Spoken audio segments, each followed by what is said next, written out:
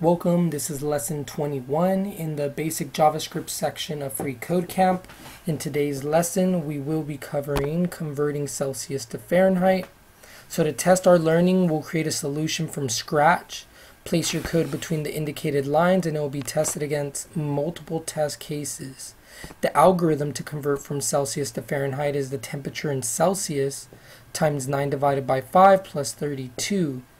You were given a variable Celsius representing a temperature in Celsius. Use the variable Fahrenheit already defined and apply the algorithm to assign it the corresponding temperature in Fahrenheit. Note, don't worry too much about the function and return statements as they'll be covered in future challenges. For now, only use operators that you've already learned. So easy enough they want us just to focus in this inside of here and writing the actual this part or actually this part. So the algorithm is given to us. So this is our function call right here. And we could change this to whatever like let's say right now it's 30 we could do 55 and that's what the temperature is in Celsius. We want this this function rewrite we want it to return Fahrenheit. And it tells us how to do that. Here what we have to do is okay inside of our function we have Fahrenheit.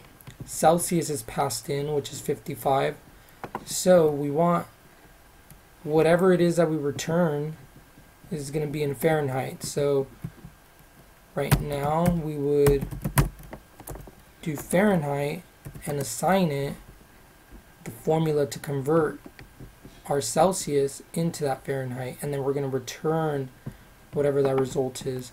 So we would do Fahrenheit is assigned Celsius times 9 divided by 5 and then plus 32.